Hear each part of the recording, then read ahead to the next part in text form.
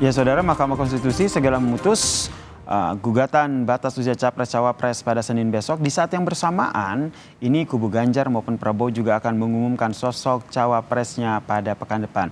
Betulkah sosok cawapres baik Prabowo dan juga Ganjar ini menanti putusan MK? Lalu seberapa pengaruhnya putusan MK so, uh, terhadap sosok cawapres mereka? Kita bahas bersama dengan Direktur Eksekutif Poltreking yang telah bergabung bersama kami di Kompas Malam, Mas Hanta Yuda. Assalamualaikum, salam sehat Mas Hanta. Waalaikumsalam, salam sehat Yasir. Jadi baca pres Ganjar maupun Prabowo ini uh, menentukan sosok cawapresnya ini menurut Anda bagaimana? Apakah benar menanti dulu putusan MK yang diketok palu Senin besok?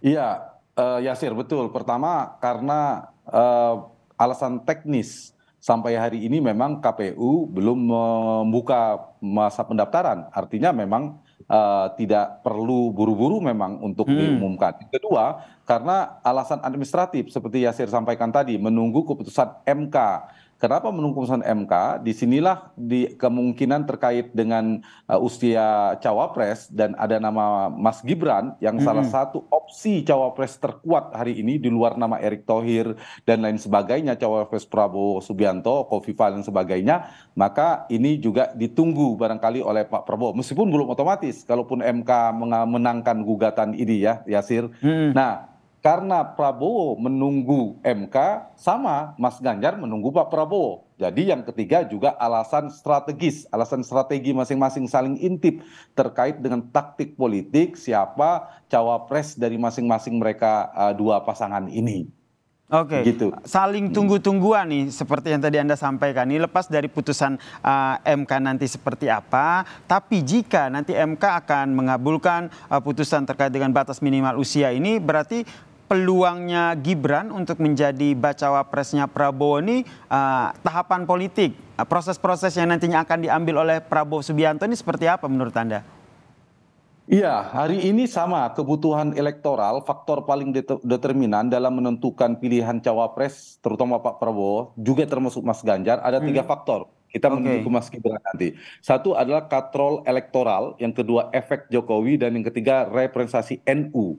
Nah, yang diperbutkan NU Jawa Tim itu sekarang ini mulai tidak terlalu determinan. Mengapa? Kalau kita perhatikan di Jawa Timur, kedua cawapres ini relatif imbang uh, hmm. kekuatannya itu satu. Yang kedua dari sisi NU juga berarti berimbang dan tidak ada satu cawapres potensi elektabilitasnya menjulang sendiri misalnya 40% yang bisa mengatrol secara elektoral antara mereka. Jadi faktor NU tidak terlalu kuat lagi determinasinya hmm. termasuk kewilayahan sehingga efek atau faktor Jokowi menjadi penting untuk dikejar karena approval rating tingkat kepuasan tinggi.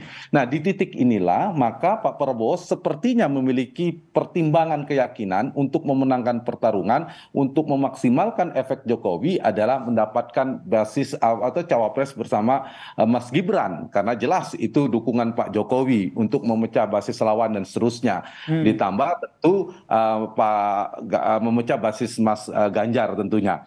Nah, tetapi uh, Yasir, menurut saya keduanya ini punya cawapres yang berimbang ya. Sebelum kita bicara ke Mas Gibran ujungnya hmm, nanti. Hmm, hmm. Ya, satu, ada tiga strategi yang dipertimbangkan oleh dua capres ini. Satu ada memecah basis lawan kompetitor.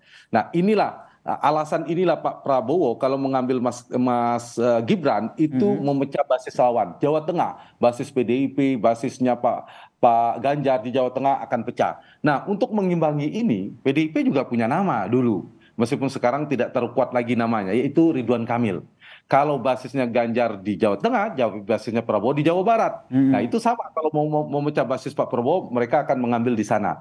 Yang kedua, kalau misalnya berebut Jatim atau NU, ada nama Kofifa di Prabowo, ada nama Mahfud di Ganjar Pranowo. Hmm. Keluarlah kartu Mahfud, kartu NU yang dianggap NU tulen. Nah, okay. yang ketiga dari data survei terakhir paling tidak tidak dari kami ada dua yang tertinggi. Satu Erick Thohir, yang kedua adalah uh, Sandiaga Uno. Nah, Sandi juga masih beredar namanya di uh, Ganjar, kemudian Erick Thohir juga cukup kuat hmm. di Prabowo nah, dianggap sebagai katrol elektabilitas terkuat untuk menjadi kombinasi mereka. Nah, inilah saya kira kedua-duanya punya tiga cawapres yang sama-sama uh, kompetitif untuk melengkapi mm -hmm. kedua-duanya. Nah, karena itu, karena Pak Jokowi, mem, apa Pak Prabowo, Prabowo memiliki uh, memiliki keyakinan elektabilitas dan apa tadi faktor Jokowi, ya faktor Jokowi yang paling kuat ya pengaruhnya Mas Gibran. Okay. Tetapi Yasir punya efek positif maupun negatif pilihan terhadap Mas Gibran tentunya. Nah ini ini salah satu mungkin dampak yang nantinya akan uh, terjadi jika Prabowo memilih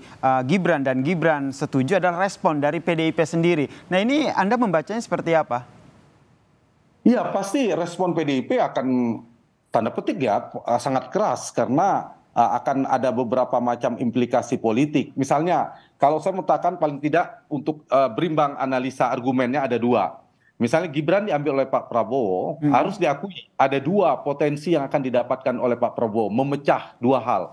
Satu, memecah kebukuan di dalam koalisi Pak Prabowo ada nama si A, si B, si C yang diusung oleh partai politik, hmm. begitu Mas Gibran maju, maka ini menjadi solusi jalan tengah. Selesailah urusan koalisi. Itu akan membantu Pak Prabowo tidak akan alot dan selesai. Yang kedua, dia seperti saya katakan di, di awal Yasir, hmm. berpotensi besar memecah basis lawan, memecah, memecah basis kompetitor yaitu Mas Ganjar dan PD Perjuangan. Sekaligus dia bisa merebut berpotensi selain menggerus Ganjar, tentu menambah suara Prabowo dan Gibran di basis-basis Ganjar dan PD Perjuangan, terutama di Jawa Tengah.